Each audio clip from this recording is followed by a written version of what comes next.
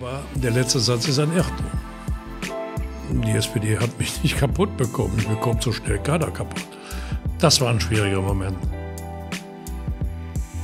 Und da bin ich meinen Personenschützern, die da mit mir unterwegs war, bis heute dankbar. Meine Personenschützer haben reagiert, nicht ich. Die haben gesagt, mach dich vom Acker, Kollege. Der englische Philosoph Edmund Burke, das ist ein Philosoph des 17. Jahrhunderts, hat mal den Satz gesagt, für den Sieg des Bösen reicht es, dass die Guten nichts tun. Die Frage habe ich mir noch nie gestellt. Sie ist mir auch äh, jetzt zum ersten Mal in meinem Leben gestellt worden. Herr Schulz, herzlich willkommen in meinem Podcast. Ich muss mich ganz zu Beginn äh, bei Ihnen ausdrücklich bedanken. Nicht nur, dass Sie sich die Zeit dafür nehmen, sondern dass äh, dank Ihnen jeder weiß, wo Würselen liegt. Weil meine Freundin und ihre Familie kommt aus Würselen und wenn ich äh, vor den Wochenenden nach Hause fahre äh, und gefragt werde oder am Telefon mit irgendjemandem bin und gefragt werde, ja, wo fährst du denn jetzt hin? Und ich sage nach Würselen, jeder weiß einfach Bescheid.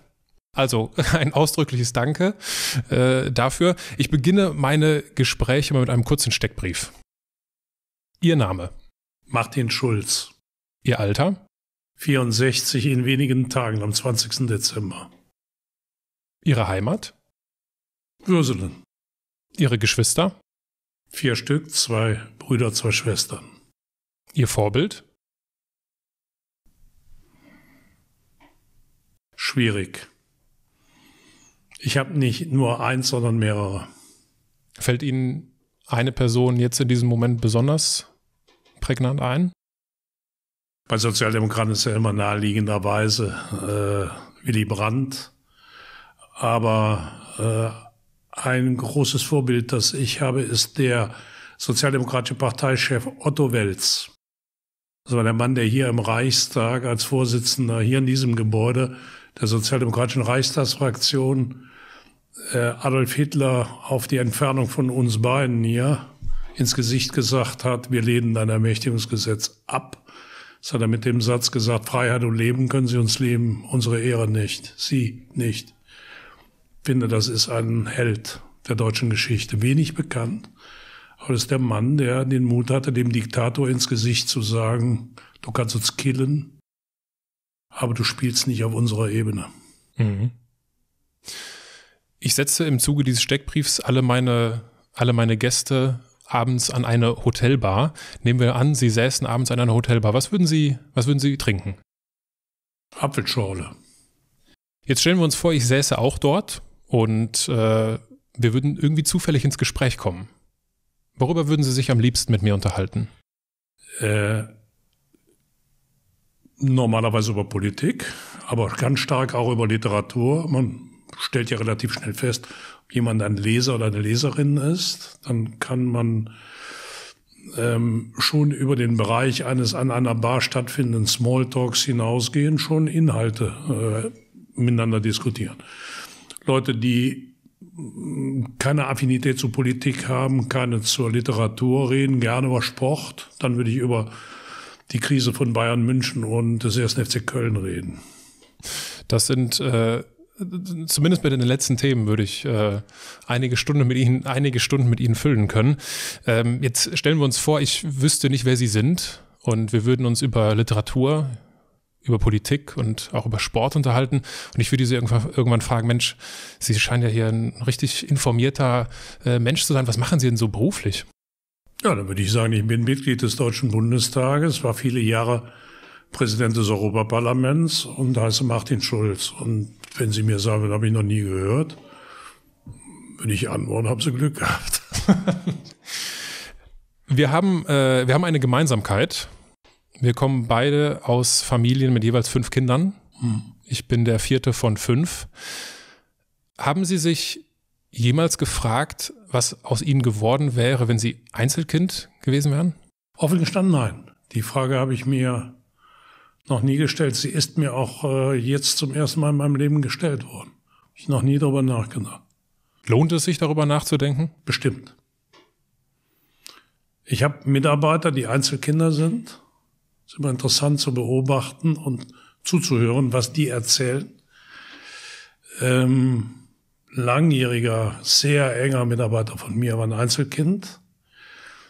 Und äh, bei dem habe ich festgestellt, dass er aber ein Verhalten hat, als wäre er in einer Mehrkindfamilie aufgewachsen. Sehr solidarisch, sehr äh,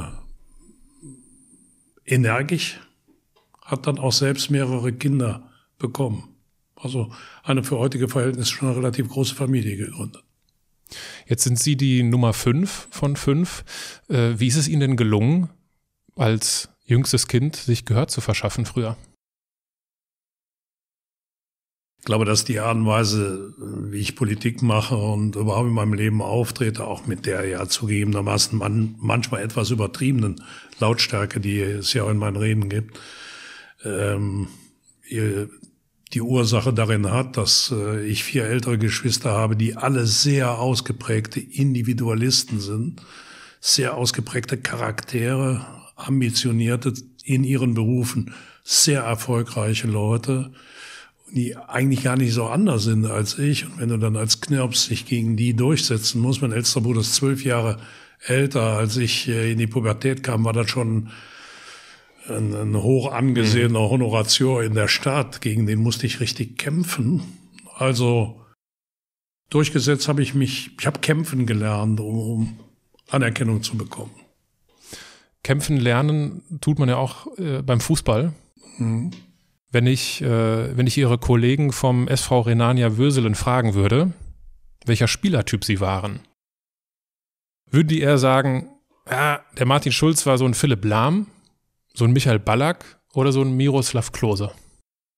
Nee, ich glaube, keins von dreien. Okay. Also äh, so technisch brillant wie die drei war ich nicht, äh, aber eher war ich ein knochenharter linker Abwehrspieler, ein Kämpfer, oh, eher wie Jonas Hector vom 1. Okay. FC Köln.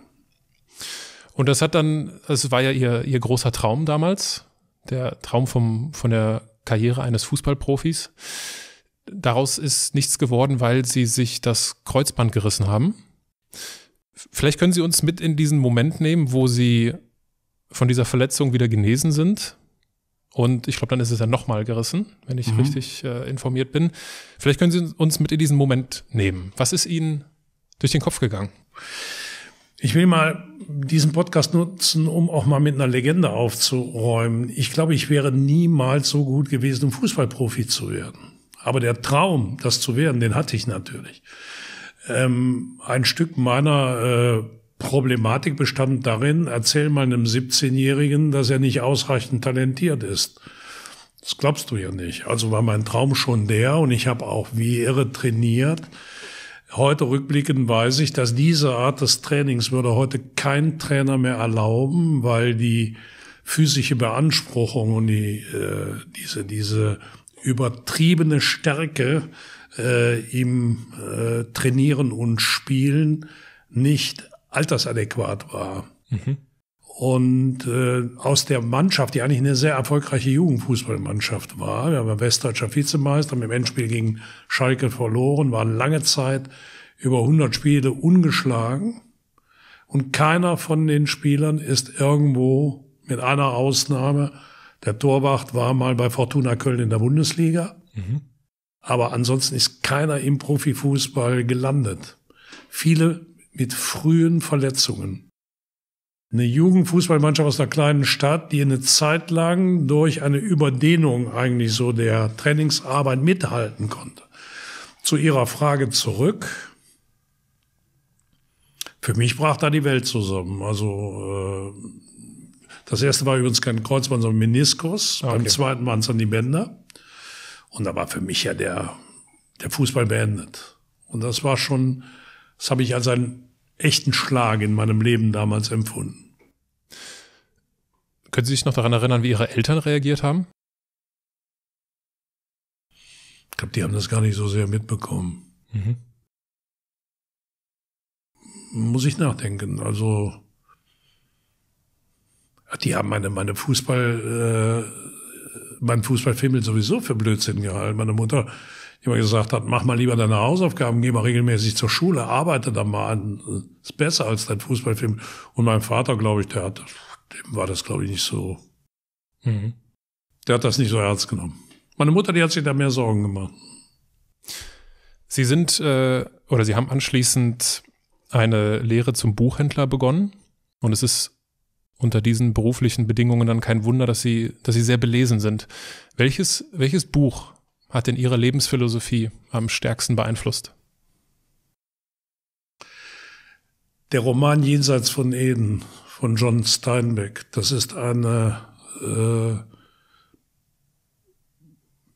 eine einzigartige äh, literarische Verarbeitung ähm, der Kain und Abel Story, der Kain und Abel Geschichte. Und zwar in verschiedener Hinsicht. Es ist sowohl eine Kain und Abel Geschichte der Väter und eine Kain und Abel Geschichte der Söhne. Es ist zweimal ein Bruderkonflikt, der in diesem Roman aufgearbeitet wird. Und ich kenne kaum einen Roman, in dem alle menschliche Größe, Edelmütigkeit, Solidarität, Zugewandtheit, Verzicht zugunsten anderer, sich selbst zurückzunehmen, äh, Altersweisheit, Milde in der Jugend, Radikalität in der Jugend, Radikalität im Alter, Milde im Alter, äh, totaler Hass und glühende Liebe. Vernachlässigung von Kindern durch die Mutter, Intriganz, Hass, Mordlust, Betrug, ebenso wie Solidarität habe ich schon erwähnt, aber auch Liebe zu anderen, selbst wenn du nicht mit ihnen verwandt bist, äh, anderen Menschen etwas geben, was ihnen sichtlich fehlt und wozu du in der Lage bist, es ihnen zu geben. Also alles, was unser Leben auf irgendeine Art und Weise im Guten wie im Bösen prägt, ist in diesem Roman in einer Familiengeschichte verarbeitet. Und ähm, der Romantitel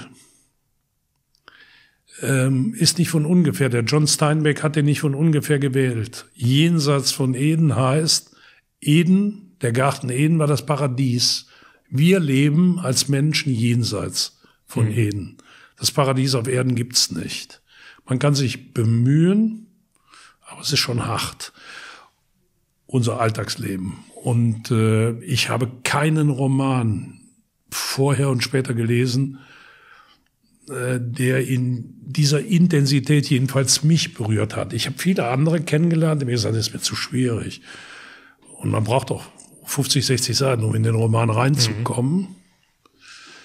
Aber äh, die Buddenbrooks von Thomas Mann gehen in die Nähe, sind mhm. aber viel zu vornehm. Das ist eine Patrizierfamilie. Die Familie äh, in Jenseits von Eden ist äh, halt eine amerikanische Pharmafamilie. Und ähm, ja, das ist der Roman, der mich am meisten geprägt hat. Sind Sie so jemand, der ein Buch intensiv liest oder mehrere Bücher auf einmal? Nee, ich lese parallel mehrere Bücher auf einmal. Ich Aber ich lese die alle intensiv. Stimmt, ja, das, das widerspricht sich nicht, das ist korrekt. Ich bewundere das immer. Ich kann das nicht. Ich kann nicht parallel lesen.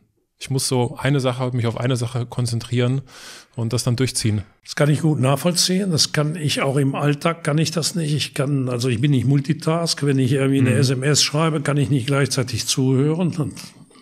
Finde das auch meine Mitarbeiterinnen und Mitarbeiter, die können, die sind Multitask, die sitzen vor mir und ich habe den Eindruck, die hören mir überhaupt nicht zu, die hören aber intensiv zu und können parallel äh, irgendwas anderes machen, finde ich faszinierend. Ich kann das nicht, außer beim Lesen. Das hat aber einen Grund.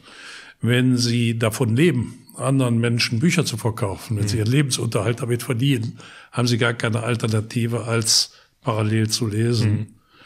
Denn die Flut an, an, an Neuerscheinungen und das, das Volumen, das es in so einer Buchhandlung gibt, sie ihren Kundinnen und Kunden gegenüber nicht den Eindruck erwecken wollen, der hat ja gar keine Ahnung, dann müssen sie schon auch wissen, was sie da in ihrem Laden anbieten und dann musst du natürlich auch parallel lesen können. Mhm. Gehen wir weg von der Belletristik. Ich meine, äh, ge gelesen zu haben, dass Sie auch gerne Biografien lesen. Hm. Mit welchen, mit welchem Protagonisten hätten Sie dann gerne mal einen Tag getauscht oder wenn diese Person noch leben sollte, mit welchem Protagonisten einer Biografie, die Sie gelesen haben, würden Sie gerne mal tauschen? Das ist auch eine schwierige Frage, aber wenn ich spontan würde ich sagen, äh, François Mitterrand, der frühere französische Staatspräsident, mhm. über den ich eine Biografie gelesen habe, die ein Journalist verfasst hat, der ihn über 40 Jahre begleitet hat und der mit ihm eine Abmachung hatte, die Biografie schreibe ich erst nach deinem Tod. Erst wenn du nicht mehr da bist. Krass. Mitterrand hatte ihm gesagt, ich lass dich nah an, dich ran, an mich ran, aber du musst warten. Und er hat sich auch daran gehalten. Und äh, da werden äh, Facetten der Persönlichkeit äh, offengelegt, äh, die die Faszination, die ich von diesem Mann eh immer hatte, noch steigern. Also wenn, würde ich sagen, einen Tag im Leben von François Mitterrand. Ist das möglicherweise ein Grund, warum Sie sich während des Wahlkampfs begleiten lassen haben von einem Journalisten, der dann im Anschluss ein Buch darüber geschrieben hat? Das war nicht der Grund, aber ich bin natürlich hinterher, ist es mir aufgefallen. Okay. Nun hat er mich nicht 40 Jahre begleitet, sondern ja. nur ein paar Monate, aber ähm, ja, jemanden so nah an sich ranzulassen, ja, Allerdings konnte ich mit dem die Vereinbarung nicht treffen. Erst nach meinem Tod, ich will ja noch ein paar Jahrzehnte leben. Verständlich. Äh, wir spulen noch mal ein paar Jahrzehnte zurück. 1982, Sie, äh, Sie eröffnen die eigene Buchhaltung, äh, Buchhandlung und äh, Ihre politische Laufbahn nimmt Fahrt auf. Sie hatten es ganz kurz im Vorgespräch auch schon gesagt. Äh, mit, mit 31 werden Sie Bürgermeister von Würselen. Ich bin heute 31, kann es mir nicht vorstellen, äh, irgendwo Bürgermeister zu sein. Äh, elf Jahre lang sind sie das. Sie werden zweimal mit absoluter Mehrheit wiedergewählt und äh, gewinnen oder erzielen dadurch diese, diese Auszeichnung des Ehrenbürgers von Würselen, auf die sie stolz sind, wenn ich das richtig äh, gelesen habe. Seit 1994 sind sie Mitglied des Europäischen Parlaments. 2012 werden sie zum Präsidenten des Europäischen Parlaments gewählt wiedergewählt. 2014, 2017 scheiden sie dann aus, um in den ähm, Wahlkampf einzusteigen. Ihre Karriere als äh, auf, auf europäischer politischer Ebene ist es natürlich unmöglich, jetzt in dieser Kürze der Zeit irgendwie auch nur ansatzweise zusammenzufassen. Deswegen habe ich zwei Momente rausgesucht, die mir besonders aufgefallen sind. Das eine, aus meiner Sicht ein schöner Moment und ein eher schwieriger Moment. Womit wollen Sie beginnen? Fangen Sie mit dem Schwierigen an. Der schwierige Moment. Diesen schwierigen Moment bezeichnen Sie als bewegendste Begegnung Ihres Lebens und äh, findet Ende der 90er Jahre statt. Ich vermute, es war 96, wo Sie die Eltern der Kinder Julie und Melissa treffen, die ermordet wurden bzw. gestorben sind ähm, im Zuge des, äh, der, der Straftaten von Marc Dutroux. Vielleicht können Sie uns mit in diesen Moment nehmen, wo sie die Eltern treffen, die zwei ihrer Kinder an solch einen ja, Menschen verloren haben? Es war 1998. Okay. Wir hatten im Europäischen Parlament im zuständigen Ausschuss, im Innenausschuss, einen äh, Bericht des Europaparlaments in Auftrag gegeben, der sich mit dem Kampf gegen äh, Missbrauch von Kindern und Sextourismus, der damals äh, en vogue war.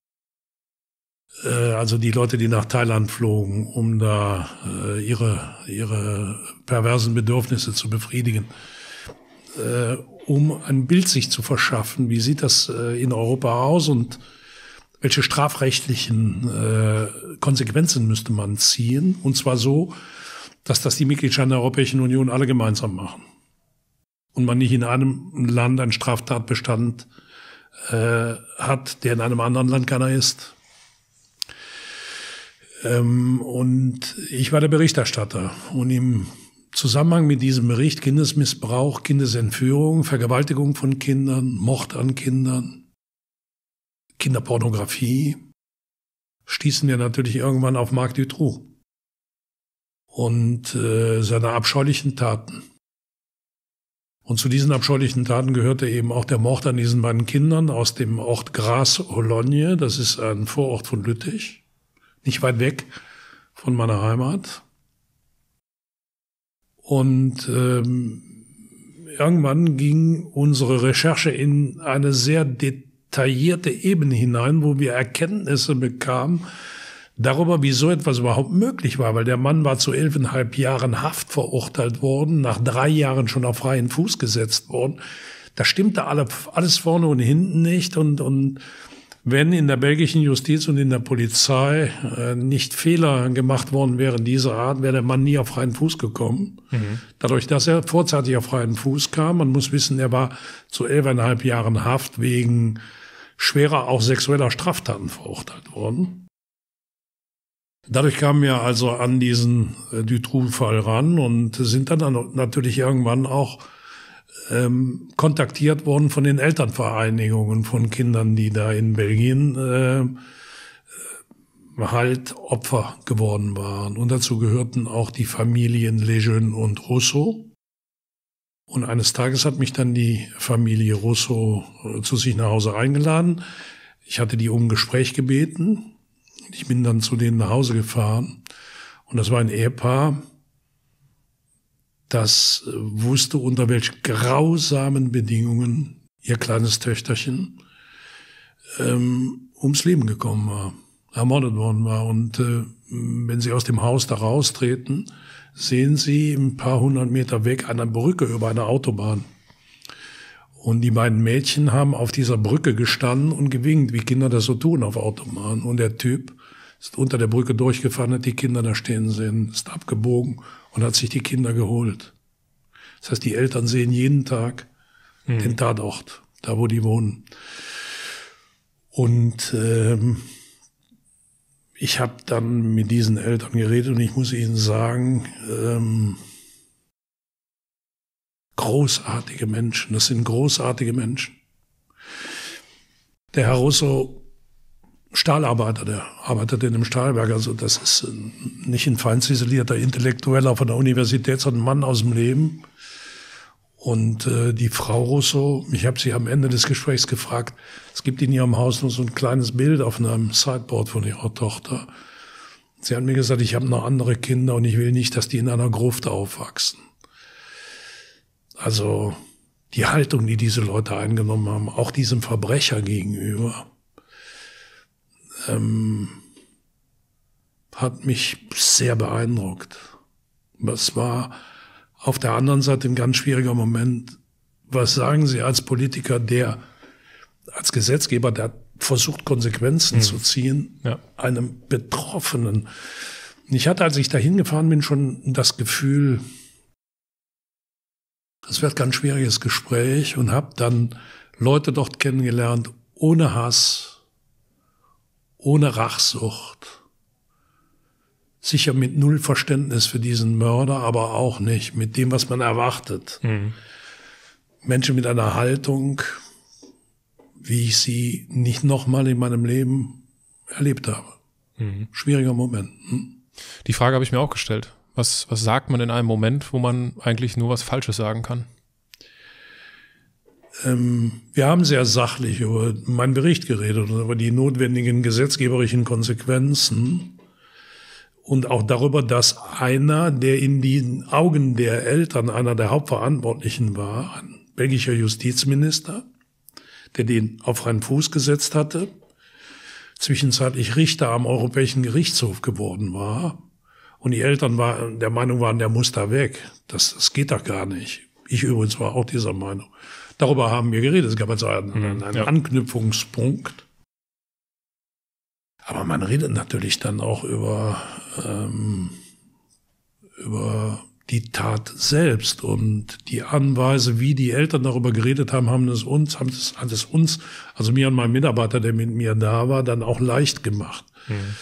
Auch das ist, wie ich finde, eine, eine, eine Haltung, die nur allergrößten Respekt hervorrufen kann. Mhm. Stichwort großer Respekt. Kommen wir zu einem zu dem schönen Moment, von dem ich gerade sprach. Und das ist der 12. Oktober 2012. Die Europäische Union wird dafür ausgezeichnet, dass sie aus einem Kontinent des Krieges ein Kontinent des Friedens gemacht hat. Sie nehmen stellvertretend die goldene Medaille des Friedensnobelpreises entgegen in Oslo. Und sie stehen auf diesem wunderschönen Hotel in Oslo, das Grand Hotel, auf dem Balkon und äh, ist ja so ein bisschen wie der Champions League-Sieg der Politik, wenn ich das so, wenn ich das so sagen darf. Äh, inwiefern kompensiert denn solch ein Moment den geplatzten Traum einer Fußballerkarriere? Na, ich bin für den geplatzten Traum in meinem Leben mehr als einmal entschädigt worden, eigentlich jeden Tag. Ich habe ja ein doch sehr reiches Leben bisher leben dürfen. Ähm, heute übrigens, wir haben heute den 10. Dezember, heute vor sieben Jahren war das. Am 10. Dezember 2012 ist die Urkunde und die Medaille verliehen worden. Also heute während unseres Gesprächs etwa um diese Uhrzeit vor sieben Jahren habe ich diesen Preis gemeinsam mit Hermann van Rompuy und José Manuel Barroso entgegengenommen. Das war jetzt exakt vor sieben Jahren. Dann habe ich einen Zahlendreher drin. Ich hatte nee, nee, der 12. Oktober war der Tag, wo das Nobelpreiskomitee mitgeteilt ah, hat, okay, okay, okay. dass wir den, und am 10. Dezember, ah, auch jetzt in dieser Minute wird Schön. der an den Ministerpräsidenten Abiy verliehen in Oslo. Das ist ja der einzige Preis, den Oslo verliehen wird. Alle anderen werden in Stockholm verliehen. Ja. Und wie gesagt, das war, habe ich auf dem Weg hierher mit meinem Mitarbeiter darüber geredet, dass das heute vor sieben Jahren war. Das war ein großer Moment in meinem Leben, eindeutig. Und dann war abends so eine, da sind da, es wird früh dunkel um diese Zeit und dann sind da viele Leute vor das Hotel gezogen mit Kerzen. Und äh, dann war da, ich, also, kennen mich ja, ich bin ja eher ein impulsiver und, und ein extrovertierter Charakter, waren meine Kollegen Van Rompuy und äh, und äh, Barroso, die standen da auf dem Balkon, die Leute haben da unten gesungen, die Europa und und, und, ja. ähm, und die, die standen da stocksteif wie, wie Aachener Printen. Und dann habe ich denen gesagt, aber Jungs, also müssen wir ein bisschen Stimmung machen. Ich, ich habe dann da oben angefangen, äh, ja, bisschen äh, die Leute zu animieren und haben mitgesungen und das fanden die super. Ne? Die zwei, die sind dann reingegangen, denen war das peinlich, aber ich habe dann hinterher erfahren, dass die Leute da unten auf dem Platz das richtig gut fanden. Ich fand es auch toll. Und äh, ja, das war schon ein bisschen Champions League-Stimmung, ja. Sie haben, äh, und das ja über die gesamte Zeit, und das finde ich äh, krass, also gleichzeitig EU-Politik gemacht und gleichzeitig kommunale Politik als, als Bürgermeister. Das heißt, auf der einen Seite diskutieren sie mit den großen Mächtigen über internationale Fragen und auf der anderen Seite müssen sie sich, mich, sich mit lokalen Nachbarschaftsstreitigkeiten herumschlagen, wie in aller Welt. Und wahrscheinlich haben sie diese Frage schon sehr häufig gestellt bekommen. Ist dir dieser Spagat gelungen? Ich habe das vier Jahre gemacht. Ich war vier Jahre parallel Bürgermeister und Abgeordneter und ich habe die Geschichte schon oft erzählt. Aber da wir beide Würselner sind, äh, oder Sie zumindest in, in, in Würseln ähm, die Familie ihrer Lebensgefährtin haben. Kann ich ja dabei erzählen. Ich war an einem, ich war zum ersten Mal in meinem Leben im Auswärtigen Ausschuss des Europaparlaments. Und das ist schon ein Ausschuss, wo richtig internationale Politik gemacht wird. Und da waren die damaligen Außenminister von Frankreich und Großbritannien, äh, Juppé und Douglas, Alain Juppé und Douglas Hurt, berichteten hinter verschlossenen Türen über die Lage im äh, früheren Jugoslawien spannend. Und dann bin ich ausgefahren in meinem Auto und musste ins Rathaus nachmittags.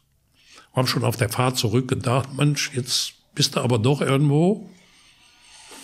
Also so innerlich war mein Gefühl, die zwei und ich. Und dann kam ich in meinem Rathaus an und lag äh, die Niederschrift einer Einwohnerversammlung in der Neuhauser Straße, Neuhauser Straße, Neuhauser Straße wo dann stand, Familie A wünscht einen Baum vor dem Haus bei der Neugestaltung, Familie B wünscht ausdrücklich keinen Baum vor dem Haus bei der Neugestaltung. So. Äh, das war ein Tag, an dem äh, ich aber eins gelernt habe. Juppé und Douglas Hurd im Auswärtigen Ausschuss des Europaparlaments ist mein Alltag.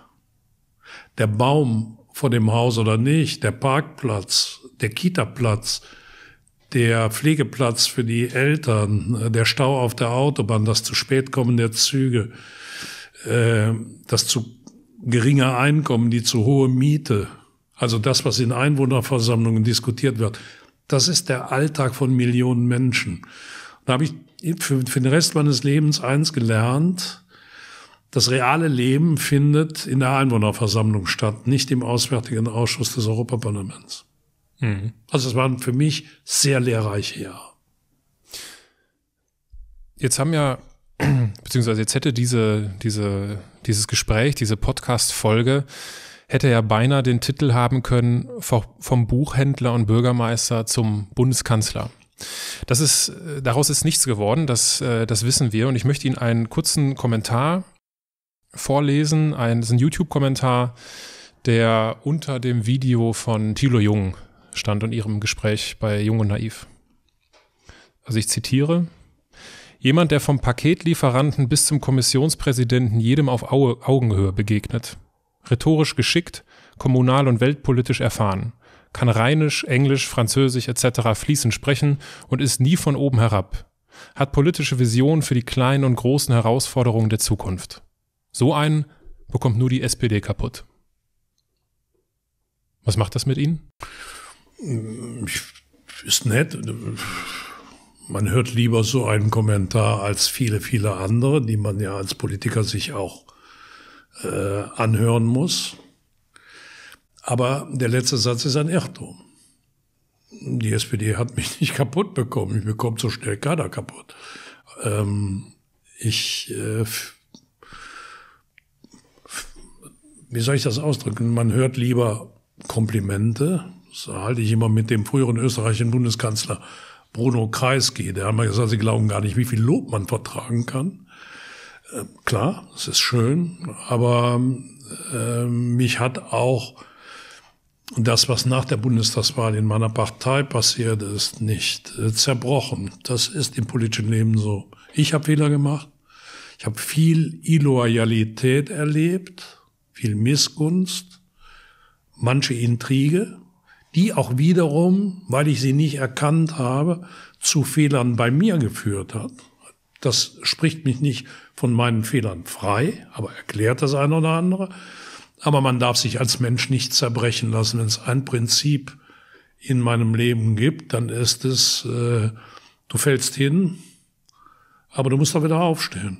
Und ich stehe auf. Also so schnell kriegt mich keiner klein. Mhm.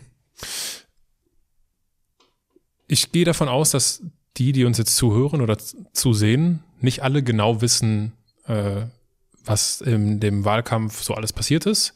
Und ich habe äh, mal so ein paar Ursachen mitgebracht, äh, weswegen aus der, äh, wes weswegen wir heute nicht äh, vom, vom Bundeskanzler Schulz sprechen. Also Anfang 2017 bricht ja dieser Schulz-Hype aus, der äh, extrem war. Im März 2017 werden sie dann mit 100 Prozent zum Kanzlerkandidaten gewählt und äh, trotzdem ist es nichts geworden. Ich habe mal so ein paar Sachen mitgebracht, die vor allem aus dem Buch der Schulz-Story stammen von äh, Markus Feldenkirchen. Ein Grund ist die von Anfang an belastete Rollenverteilung mit Sigmar Gabriel und der generell nicht auf ihre Person zugeschnittene Wahlkampf. Ein zweiter Aspekt ist die Nichtanalyse von vergangenen, verlorenen Wahlkämpfen. Ein dritter ist der fehlende Mut zum Risiko, das Thema Europa zu ihrem Thema im Wahlkampf zu machen, so auch nach dem Vorbild von Macron in, in Frankreich. Ein viertes, ein vierter Grund äh, könnte die, könnten die Wahlschlappen in Schleswig-Holstein, im Saarland oder in NRW gewesen sein. Ein fünfter, ein buntes Potpourri an Pleiten, Pech und Pannen. Also, äh, als ich mir das Buch durchgelesen habe, ist ja, man mag es kaum glauben, aber es ist die Realität. Also diese, die, die Vorstellung des Wahlprogramms, was äh, irgendwie misslungen war, äh, der, und das natürlich äh, in aller Tragik der Schlaganfall ihres Wahlkampfmanagers. Das, sowas kommt dann auch noch dazu. Äh, ein weiterer Grund könnten die endlosen Querelen aus den eigenen Reihen sein. Also das Interview von Thorsten Albig habe ich mir hier notiert. Oder die äh, Gerhard Schröder-Geschichte mit Rosneft. Äh, oder ein siebter Grund, der Verlust der eigenen Intuition aufgrund systematischer Kaputtberatung. Das sind nicht meine Worte, sondern aus diesem Buch aufgegriffen. Ihr Fazit, so haben Sie es zumindest mal in einem Interview geschildert, hat, äh, sind vor allem zwei Ursachen entscheidend gewesen. Erstens, dass sie nicht über Europa geredet haben und zweitens, dass sie oder es nicht zu ihrem Hauptthema gemacht haben und zweitens, dass sie nicht im NRW-Landtagswahlkampf äh, eingegriffen haben. Wenn ich so frei sein darf, hätte ich äh, auch zwei Gründe mitgebracht, die aus meiner Sicht äh, passen. Der Unternehmensberater in mir sagt, äh, die Ursachenforschung ist essentiell. Und wenn das nicht gemacht wird, und das wurde ja scheinbar nicht gemacht, auch in den vergangenen Wahlkämpfen, ist es aus meiner Sicht, äh, ist die Wahrscheinlichkeit sehr hoch, dass was schief läuft. Der Mensch in mir sagt, hier wurde ein Zehner auf die Neun gestellt. Also hier sollte ein Spielmacher wie Toni Kroos plötzlich Tore schießen wie Timo Werner. Was ist Ihre Einschätzung dazu? Zu meiner Wahrnehmung? Wir hatten schon Ursachenforschung betrieben. Und dazu gehörte, dass die SPD endlich als homogenes Ganzes, geschlossene Formation antreten muss.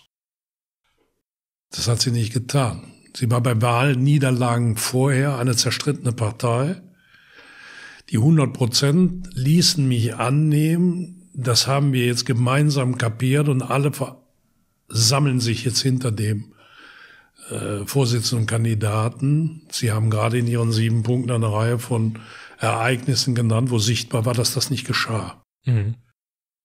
Ähm, Im politischen Leben ist das so, das kannst du zum Teil nicht beeinflussen. Ich habe mit Schröder über Rostneft geredet, aber ich bekam ihn da nicht von weg. Und ich hatte auch keine Entscheidungsbefugnis, das zu verhindern. Ich habe Thorsten Albig nicht zu diesem Interview geraten, dass seine Frau ihm intellektuell nicht mehr gewachsen sei. Ähm, aber sie müssen dafür die Verantwortung übernehmen. Das ist so. Da ist die Medienwelt auch hart. Mhm. Ähm, die ähm, in Hamburg äh, tobt der schwarze Block beim G20-Gipfel. Und die Medien, die Journalisten schreiben Problem für Schulz. Die Frage ist, warum ist eigentlich der schwarze Block in Hamburg randalierend ein Problem für mich? Weil Journalisten das schreiben, weil Journalisten sagen, ja, das ist ja eine SPD-regierte Stadt. Als ob ich einen Einfluss darauf hätte, was der hamburgische Innensenator oder der Bürgermeister der Freien Hansestadt Hamburg da macht. Sie können sich medialen Gesetzen halt auch nicht entziehen. Das ist eine bittere Erkenntnis, aber damit muss man leben. Sie haben in Ihrer Auflistung eine ganze Reihe unterschiedlicher Gründe. Und trotzdem würde ich retrospektiv heute mal Folgendes sagen. 20 Prozent, 20,5 Prozent sind aus heutiger Sicht ein respektables Ergebnis. Ähm, was übersehen worden ist, ist, wir haben in den letzten zehn Tagen vor der Bundestagswahl etwa vier Prozent, dreieinhalb bis vier Prozent verloren, die SPD. Wir lagen bei 23, 24 Prozent. Äh, Meinungsforscher haben mir nach der Wahl gesagt, die habt ihr verloren wegen der Debatte dritter Platz. Die Leute sahen, die SPD gewinnt nicht ja. und dann haben taktische Wähler gesagt, wir wollen aber nicht, dass die AfD Dritter wird. Genau. Und haben dann FDP, Grüne oder Linke gewählt. Wenn ich mit 24 Prozent oder 23 Prozent da rausgegangen wäre, wäre die Lage wieder eine ganz andere gewesen. 20 Prozent waren nach Lage der Dinge, die CDU verlor 9 Prozent. Mhm. Oder 8,5, glaube ich, von 41, so und so viel auf 33. Und wir 5. Das heißt, die GroKo hatte eine Verschiebung von 13, 14 Prozent, aber nach rechts zugunsten der AfD. Wenn Sie sich die Landschaft heute anschauen, glaube ich, dass wenn ich einen anderen Wahlkampf geführt hätte, hätten wir vielleicht mehr gewonnen. Den Wahlkampf, den ich geführt habe, glaube ich, hat verhindert, dass wir weniger bekommen haben. Das ist auch eine Zahl, die völlig untergegangen ist. Während meine Partei nach unten ging, habe ich selbst in den letzten zehn Tagen vor der Bundestagswahl einen Popularitätsschub gehabt. Konnte man in den in dem Politiker-Ranking sehen, das letzte Politiker-Ranking, das der Spiegel veröffentlichte, sah bei mir ein Plus von 10 Prozent. Das heißt, der Wahlkampf hat schon was gebracht, aber natürlich nicht das, was wir sehr oft hatten. Aus heutiger Sicht, wenn wir 20,5 Prozent bei der nächsten Bundestagswahl bekommen, glaube ich, werden wir froh sein. Ich hoffe, dass wir mehr kriegen, aber das wäre schon mal ein gutes Ergebnis. Insofern bin ich äh, hier zurückblickend schon auch trotz aller Fehler äh, im Reinen mit dem, was da abgelaufen ist. Wenn die SPD nicht lernt, das ist die Kehrseite der Medaille, dass wir nach innen kontrovers diskutieren können, bis zum mhm. geht nicht mehr, aber dass wir nach außen geschlossen auftreten müssen, dann wird sich das auch nicht bessern. auf diese, auf das heutige Ergebnis oder den heutigen Stand der Umfragewerte hätte ich Sie ohnehin noch angesprochen. Und ich könnte mir vorstellen, was Sie jetzt sagen, aber äh, spielt da nicht so ein bisschen Genugtuung mit? Ja, wenn Sie ähm, in der Situation sind, dass äh, alle diejenigen, die natürlich ihre eigene Rolle kennen und um ihre eigene Rolle wissen, also sind Menschen nun halt mal, wenn sie einen Ausweg sehen, die eigene Verantwortung ein Stück zu delegieren an jemand anderen, dann tun Menschen das halt. Deswegen fand ich mich nach der Bundestagswahl in der Situation, dass alle mit dem Finger auf mich gezeigt haben. Das ging mir ja dann ganz kurz danach nochmal so. Wir hatten gesagt, wir gehen in die Opposition. Dann scheiterte Jamaika. Dann kam der Druck des Bundespräsidenten, auch der medialen Öffentlichkeit, staatstragende Verantwortung. Gut, ich habe gesagt, ich finde, wir sollen in der Opposition bleiben, aber ich war der Einzige. Mhm. Alle anderen in der Führung der Partei waren der Meinung, nein, das ist falsch. Gut. Parteivorsitzender ist kein Diktator. Ich habe mich dann äh, dieser Mehrheitsmeinung angeschlossen und gebeugt.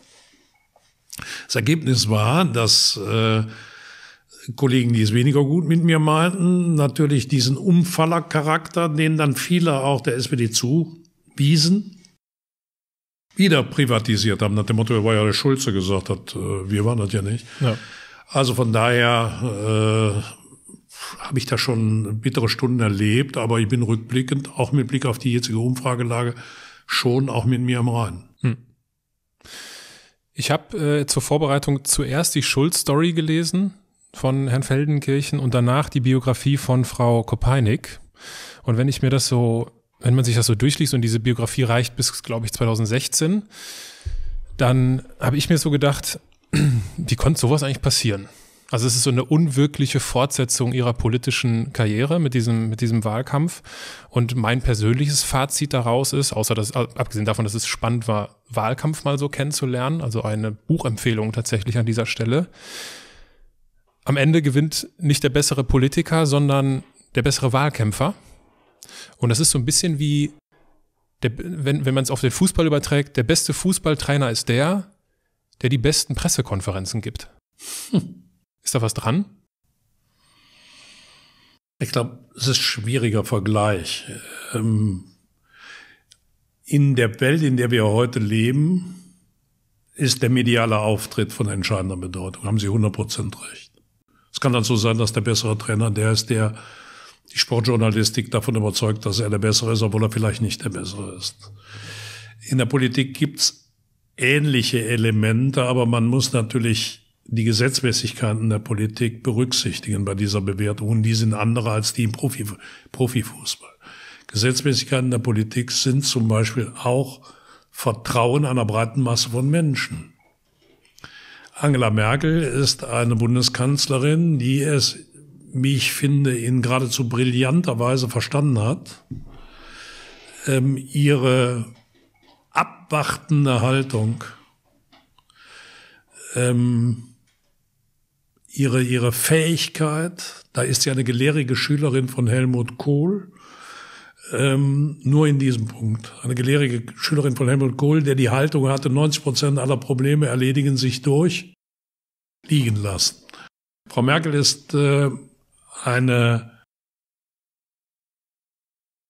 Politikerin, die sehr gut versteht, ihre Entscheidungszurückhaltung, so würde ich das mal nennen, als dynamische Politik zu verkaufen.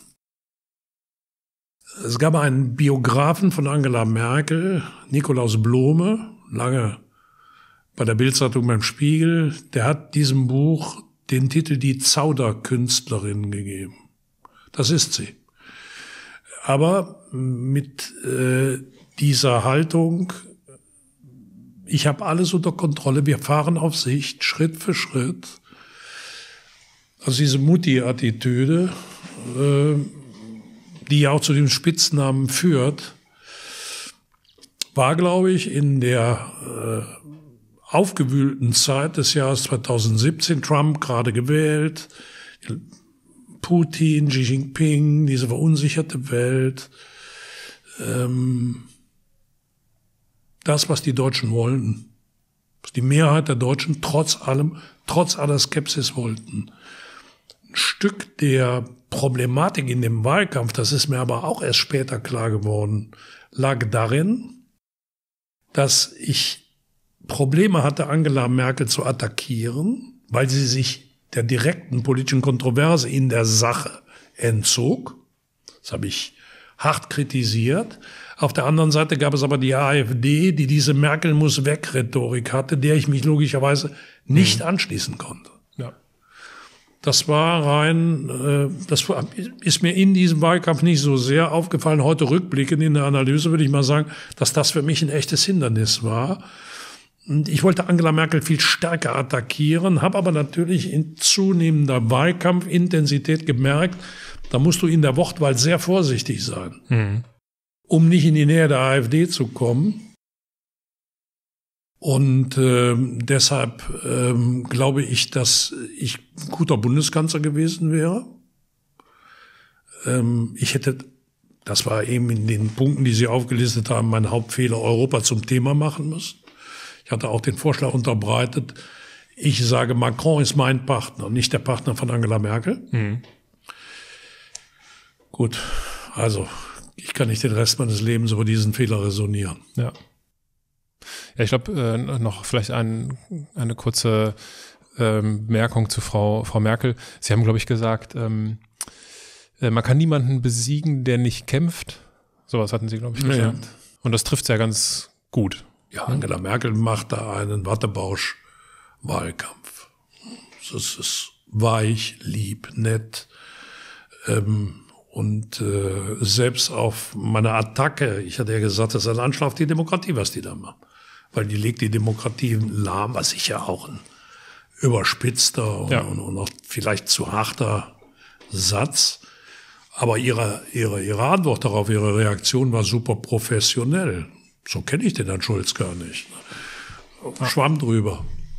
Also es ist schon, Angela Merkel ist eine, eine kommunikativ eine sehr geschickte Frau. Und wenn es einen Nobelpreis für Kommunikation gäbe, müsste den Steffen Seibert bekommen, der Regierungssprecher, der aus einer Frau, die vor jeder Entscheidung irgendwie davon geht äh, oder zögert, eine Frau macht, die im breiten, äh, auch in der internationalen Ebene, im breiten Ansehen der Leute als dynamische Problemlöserin gilt. Das ist in Brüssel, finde ich, immer ganz toll, dass die Leute mir sagen, hier ist ja nichts gelöst, ne? Nix. Also alles ist hier und drei Sätze später sind die, die Einzige, die hier was äh, bewegt, ist Angela Merkel. Du hast da eben gesagt, hier wird nichts bewegt, hier ist nichts gelöst. Mhm. Angela Merkel erweckt aber den Eindruck. Ja. ja. Ich war bei einer der letzten Aufführungen von, von Volker Pispas in der Tonhalle in Düsseldorf und er äh, ich glaube, er hat Frau Merkel einmal so beschrieben, wenn sie feststellt, dass alle gegen sie sind, dann dreht sie sich einfach um und sagt, alle stehen hinter mir. Ja. Aber gut, wir wollen es jetzt ja hier nicht äh, ausufern lassen. Äh, ich würde das Thema Wahlkampf gerne nochmal aufgreifen, weil ich finde das ehrlich gesagt beeindruckend, sowas auszuhalten.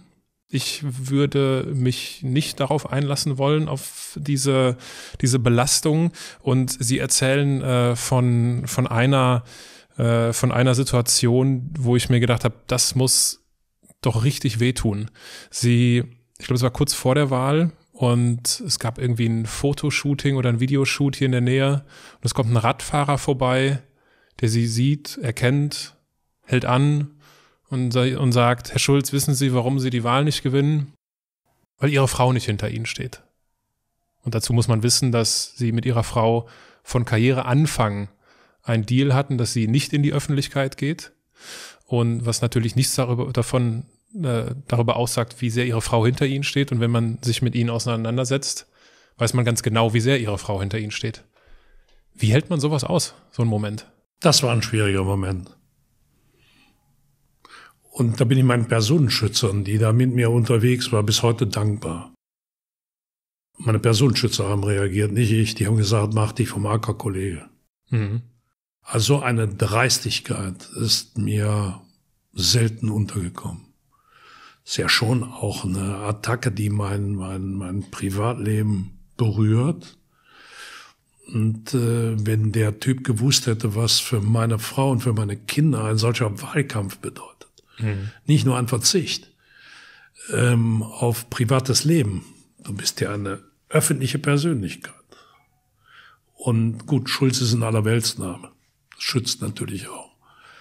Aber ähm, das Schlimme für die Angehörigen, viel schlimmer als für einen selbst, sind die öffentlichen Attacken, die abgerissenen Wahlplakate, die mhm. bösen Karikaturen, die schlimmen Kommentare äh, im Netz, diese Verletzungen. Man muss sich ja vorstellen, das ist für die Kinder der Vater, für den Lebensgefährten, für den Partner, ist das der Ehemann oder die Ehefrau, ist schon ganz hart. Und dann kommt da irgend so ein, so ein Typ da angeradelt und pöbelt einen an. Das fand ich schon, war wirklich einer der schwierigen Momente. Und wie gesagt, die beiden Personenschützer, die da bei mir waren, zwei Polizeibeamte, die haben gesagt, setz dich mal auf dein Rad und guck, dass du wegkommst. Das war wahrscheinlich die bessere Entscheidung. Äh, Sie sprechen von den Wahlkampf äh, oder von den Wahlplakaten, die verunstaltet werden.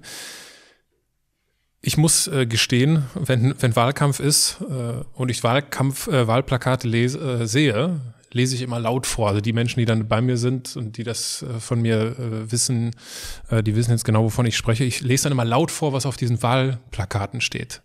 Und fühle mich immer so ein bisschen, ja, so ein bisschen verarscht, weil das ist alles so nichts aussagend. Also ich habe so ein paar Mal mir hier notiert, äh, wie soll Europa vorankommen, wenn Deutschland stehen bleibt?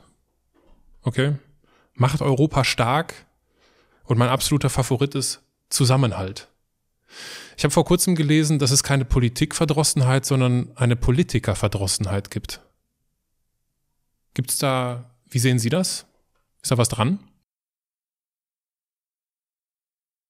Es gibt beides. Es gibt Politikverdrossenheit bei denen, die die handelnde Politik beobachten und den Eindruck haben, sie bringen nichts auf die Reihe.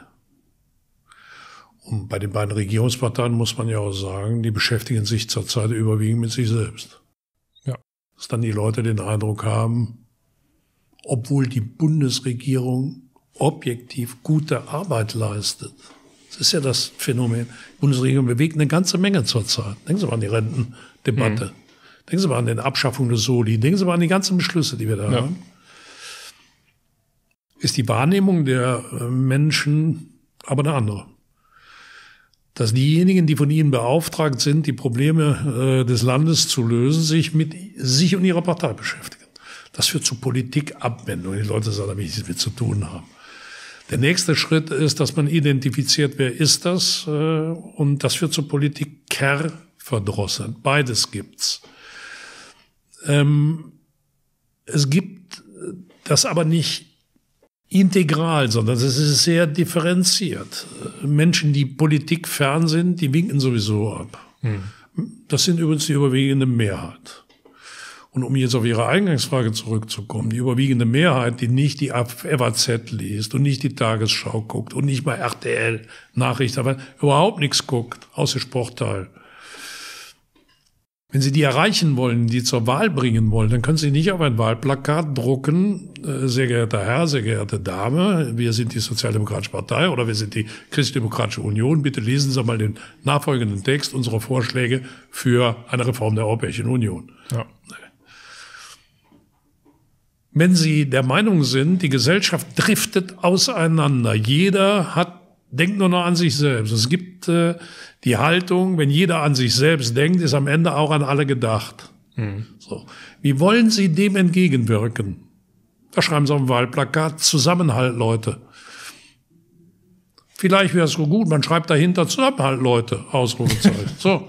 Weiß ich jetzt nicht. Das würde mich mehr abholen. Klar, müsste man mal. Äh, muss man mal testen. Muss man mal testen. Ähm, das heißt, die Sinnfälligkeit solcher Wahlplakate sind ja auch nicht die politische Botschaft, sondern mhm. die zehntausenden Wahlplakate, die da aufgestellt werden, haben ja nur einen Sinn. Die Leute daran zu erinnern, es ist Wahl. Mhm. Okay. Kein Mensch macht sich die Illusion dazu, dass so ein Wahlplakat am Ende eher dann überzeugen. Aber ihre eigenen Leute daran zu erinnern, pass auf, da ist Wahl, du musst da hingehen. Das ist der Sinn dieser plakativen Werbung, die ja übrigens in zunehmendem Maß auch nicht mehr die Rolle spielt genau. wie früher, weil das der direkte Kontakt über die sozialen Netzwerke, über die, über in der digitalen Welt, in der wir leben, ist ja der, der Weg zwischen Politiker und Wähler kürzer geworden. Donald Trump, einer, der das genau weiß. Ähm, aber ähm, wie gesagt, der Text auf so einem Wahlplakat ist äh, klar, das ist äh, jetzt keine philosophische Abhandlung. Ähm, was die Politikerverdrossenheit angeht, äh, ist das natürlich zum Teil berechtigt, weil die Leute das Gefühl haben, die drehen sich um sich selbst. Das ist hier in diesem Berliner Politikbetrieb in besonderer Weise ausgeprägt, weil dieses selbstreferenzielle Berlin äh, funktioniert ja wie folgt. Ein Journalist setzt was in die Welt, irgendwas, ruft ein Politiker an, und was sagen Sie dazu? Der gibt dazu seinen Kommentar ab, da ist die nächste Schlagzeile. Schulz sagt zu dem, was der Journalist da gerade aufgeschrieben mhm. hat, ähm, dann ruft er den nächsten an, der sagt, ja, der Schulz, der hat mir jetzt gerade gefehlt. Ne? Äh, nächste Schlagzeile ist, Meier widerspricht Schulz. Ja. Und für vielleicht irgendein Peanut. Ja. Und die Leute im Land denken, naja, aber was hat das jetzt mit mir zu tun? Also die Entfernung zwischen Berlin und vielen Bürgerinnen und Bürgern nimmt zu. Es hat auch etwas mit Berlin als Stadt zu tun. Ich kann mich gut daran erinnern, dass die Bundeshauptstadt Bonn hieß. Bonn war kleiner als Düsseldorf oder Köln konnte sie mit Hamburg und München nicht messen. Bonn war reduziert auf die Politik. Und am Wochenende fuhren die Abgeordneten gerne aus Bonn weg in ihre Wahlkreise. Berlin ist ökonomisch, politisch, journalistisch, wissenschaftlich das Zentrum dieser Republik. Alles fokussiert sich in immer stärkerem Maß auf Berlin. Ich glaube, ein Problem unseres föderalen Charakters war immer, dass wir viele regionale Zentren hatten und nicht wie äh, Großbritannien oder Frankreich eine alles absorbierende Hauptstadt. Das ist aber im Moment so. Berlin zieht alles auf sich, kann die Stadt nichts für, aber das politische, kulturelle, soziale, journalistische, wissenschaftliche, wirtschaftliche Berlin wird immer stärker. Das widerspricht ein Stück weit dem föderalen Charakter unseres Landes. Darüber müssen wir nachdenken. Deshalb bin ich, bin ich ganz stark für die Föderalisierung, die in der Geschichte unseres Landes, immer wenn Deutschland ein zentralisiertes Land wurde, ist es gescheitert. Das war bei den Hohenzollern so, es war bei anderen dreckigen Regimen, die später kamen, so. Der föderale Charakter unseres Landes äh, stärkt die Region und stärkt auch die Identität der Menschen in den Regionen. Deshalb ist Deutschland eigentlich für ein zentralistisches System nicht geeignet. Ähm, Zurück zu der Frage Politikerverdrossenheit. Ich erlebe aber auch den Polit die Politikerverdrossenheit als einen Luxus. Politik ist harte Arbeit. Bis in die tiefe Nacht. Samstage und Sonntage eingeschlossen. Berufspolitik ist fordernd für die Familie. Wenn du Abgeordneter bist, du bist weg von deiner Familie bis in der Hauptstadt. Nimmst du die Familie in die Hauptstadt mit, mutest du ihr zu, für vier Jahre umzuziehen, wer es nicht wiedergewählt, muss er wieder zurück. Hohes ja. Risiko. Ja. Ähm, Politik ist im Verhältnis, wir sind gut bezahlte Abgeordnete im Verhältnis zu dem, was Leute unserer Entscheidungsbefugnis in der freien Wirtschaft verdienen, können wir uns nicht mitmessen. Selbst in den Behörden verdienen die hohen Ränge äh, mehr als die Abgeordneten. Das ist schon äh, fordernd und äh, ambitioniert. Also wem Geld verdienen, bist gut bezahlt. Aber ein junger Rechtsanwalt, der ein gutes Prädikat hat, in eine Anwaltskanzlei geht, kriegt möglicherweise das, was wir als Diäten kriegen, als Anfangssalär, ja. als Anfangshonorar. Führt natürlich dazu, dass ganz viele Leute sagen, ich bin eigentlich blöd, geht ja nicht mit Politik. Dann kommt dieser öffentliche Druck dazu, diese Internetverleumdungsmaschine, die dich in deiner persönlichen, in deiner zivilen Existenz äh, ja geradezu auf den Boden zu drücken versucht. Ich erlebe immer mehr Leute, die Politikerverdrossenheit eigentlich auch so wie so eine Monstranz vor sich her tragen, nach dem Motto, ich will mit der Politik nichts zu tun haben. Ähm, weil guckst du dir doch an, diese Politiker. Äh, und man den Leuten ja dann sagen, wie wär's denn, wenn du es selbst mal machst? Vielleicht kannst du es ja besser. Stell dich doch mal zur Wahl. Mach doch mal für ein paar Jahre zu einer alter hanseatischer Tradition. Der gute Bürger stellt sich eine gewisse Zeit lang in den Dienst der Öffentlichkeit in seinem Leben. Also Politikerverdrossenheit ist zum Teil auch ein Instrument, um sich selbst aus der Verantwortung rauszustehlen. Mhm. Wenn wir, jetzt gibt's ja in gar nicht allzu ferner Zeit äh, die, die nächste Wahl. Die nächste Wahl steht an. Und äh, vielleicht eine nicht ganz ernst gemeinte Frage. Äh, welcher welcher SPD-Kanzlerkandidat hätte denn mehr Chancen? Kevin Kühnert oder Jan Böhmermann? Der eine so wenig wie der andere. Kevin Kühnert ist ein junger Mann, der sicher in unserer Partei noch eine Karriere vor sich hat. Aber ich glaube, er denkt selbst nicht im entferntesten daran, äh, Kanzlerkandidat zu werden. Ähm, bei Herrn Böhmermann ist er ganz einfach so, ähm, die Ukraine hat gerade Herrn Zelensky, auch ein Unterhaltungskünstler, zum Staatspräsidenten gewählt. Ich empfehle nur mal einen Blick auf die Schwierigkeiten, die Herr Zelensky zurzeit hat, vor allen Dingen innenpolitisch. Ähm, die, man braucht schon, wenn man die Regierung eines 82 Millionen Volks, des größten Mitgliedslandes der Europäischen Union führen will, eine gewisse Erfahrung in der Politik. Ich finde den nett, den Böhmermann ist auch witzig, von nicht alles, aber manchmal ist er ja auch richtig witzig. Ähm, Brennender Sozialdemokrat. Ja, finde das auch also. toll, klar. Habe ich überhaupt nichts gegen. Im Gegenteil, finde das toll. Aber eine Sache muss man jetzt auch mal klar sagen. Ähm, das sage ich als jemand, der jetzt über 30 Jahre praktisch Berufspolitik macht. Ähm, die Anmaßung, als jemand, der noch nie irgendeine Wahl bestanden hat, keinen Wahlkampf geführt hat, kein exekutives oder kein legislatives Amt inne gehabt hat. Die Anmaßung zu sagen, aber ich kann Bundeskanzler, ist in der Demokratie zulässig.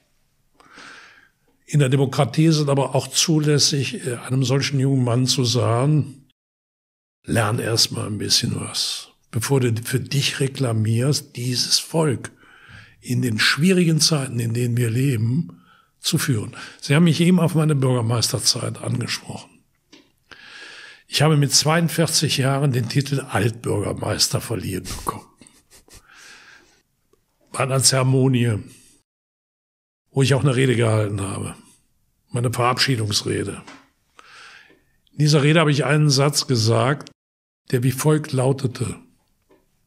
Wenn ich zu Beginn meines Mandates gewusst hätte, was ich am Ende meines Mandates weiß, hätte ich niemals den Mut aufgebracht, dieses Amt anzutreten. Mhm.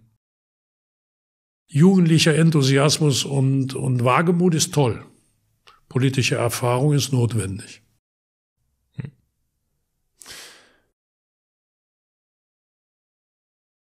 Sie haben, und das ganz zum Ende des, äh, des Buches der Schulz-Story erwähnt, dass sie sich, äh, und das ist jetzt, glaube ich, ein gutes Jahr her, äh, seit Veröffentlichung, äh, dass sie sich mit den Intellektuellen des Dritten Reichs beschäftigen wollen, noch intensiver. Sie haben sich, das ist ohnehin eins ihrer Themen mhm. äh, im Leben. Wie ist denn da der Forschungsstand, wenn ich fragen darf? Ich habe in der, ich habe in der Zwischenzeit eine äh, neue, neu erschienene, im vergangenen Jahr erschienene Biografie über Albert Speer gelesen.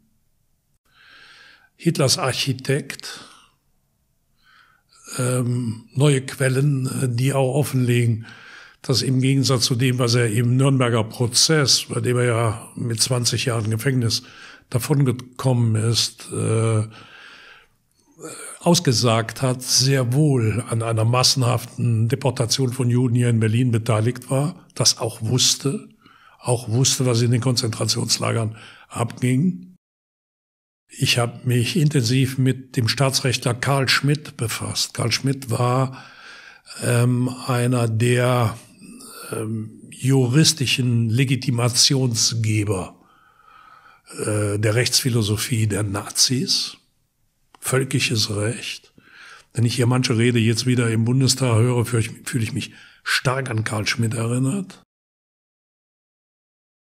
Ernst Jünger, seit jeher einer meiner äh, rechten Autoren, den ich stark lese, Jünger und Karl Schmidt auf dem Dach auf der Dachterrasse des Hotels Raphael in äh, Paris mit einem Rotweinglas in der Hand äh, sozusagen das, das Kampfgeschehen in Paris beobachtend als ästhetisches Phänomen der Gewalt in einer so schönen Stadt wie Paris miteinander austauschend. Da kriegst du die Krise, wenn du das liest. Ähm, die Intellektuellen des Dritten Reiches waren eine Zyniekerbande, äh, wie man sie hoffentlich kein zweites Mal mehr antreffen wird.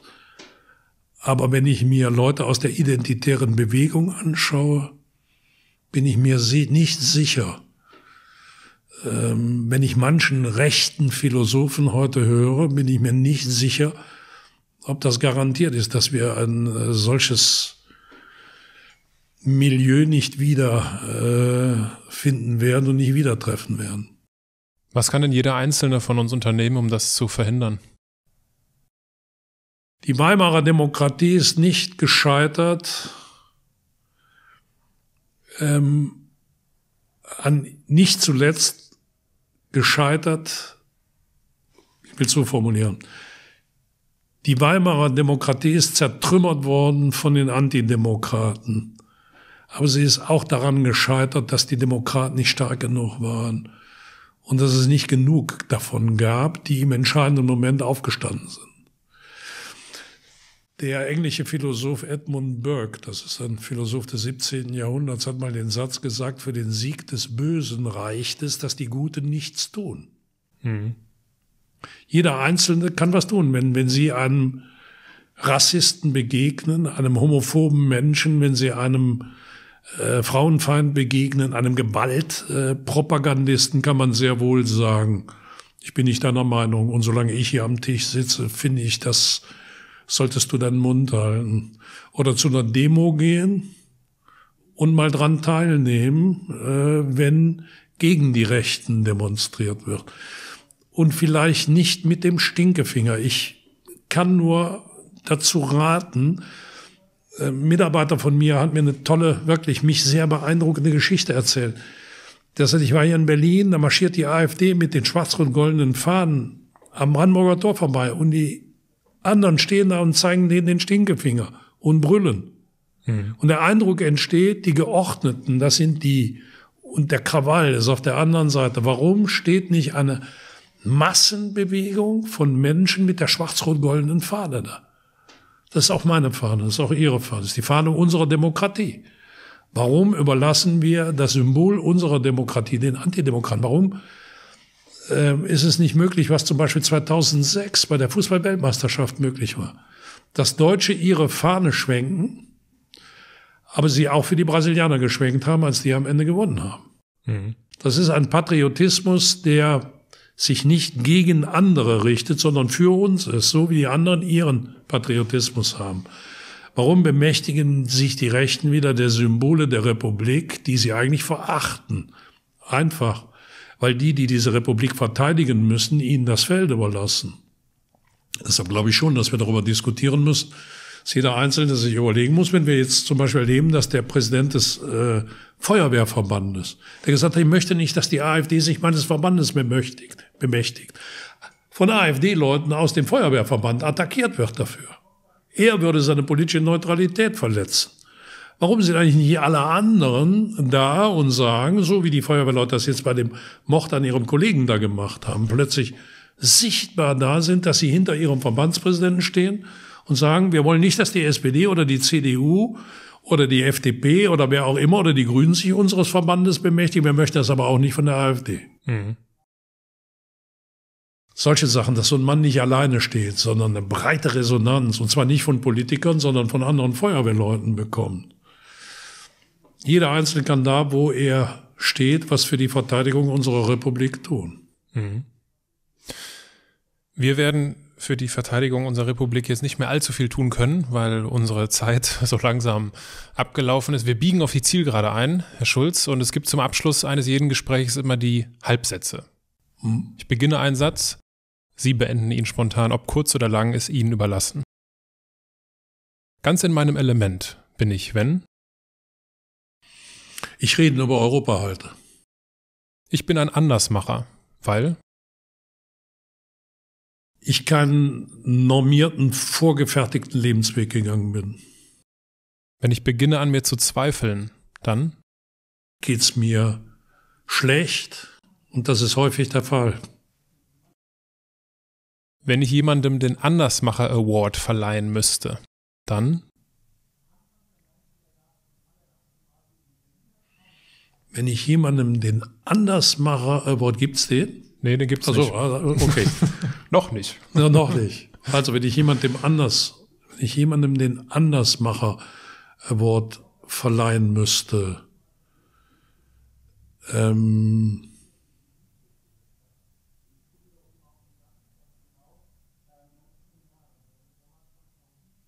Ist das egal, wenn ich im Moment nachdenke? Absolut. Wenn ich jemanden anders mache, Award. Wie heißt der Fußballer vom VfB Stuttgart, der Nationalspieler, der sich als Homosexueller geoutet hat? Thomas Hitzelsberger. Ja. Thomas Hitzelsberger würde ich das verleihen, der den Mut aufgebracht hat, in einem zutiefst maskulin geprägten Milieu sich als homosexueller Mann zu outen. Großer, mutiger Schritt. Herr Schulz, Sie haben ganz zu, zum Abschluss des Gespräches, ich gebe das Wort immer an meinen Gast ganz zu, zum Abschluss. Und normalerweise frage ich Sie, ja, was, was wollen Sie uns noch irgendwie so mit auf den Weg geben? Ne? Vielleicht auch im Kontext des Podcasts, dass ich, dass, meine, dass es meine Mission ist, anders machen, normal zu machen. Aber vielleicht, weil ich plane, das Gespräch noch vor Weihnachten zu veröffentlichen, vielleicht können Sie ja auch das, äh, das Wort an unsere Zuhörer und an unsere Zuschauer richten und äh, Sie dürfen einen Weihnachts- oder einen Neujahrsgruß äh, mit da drin verbraten.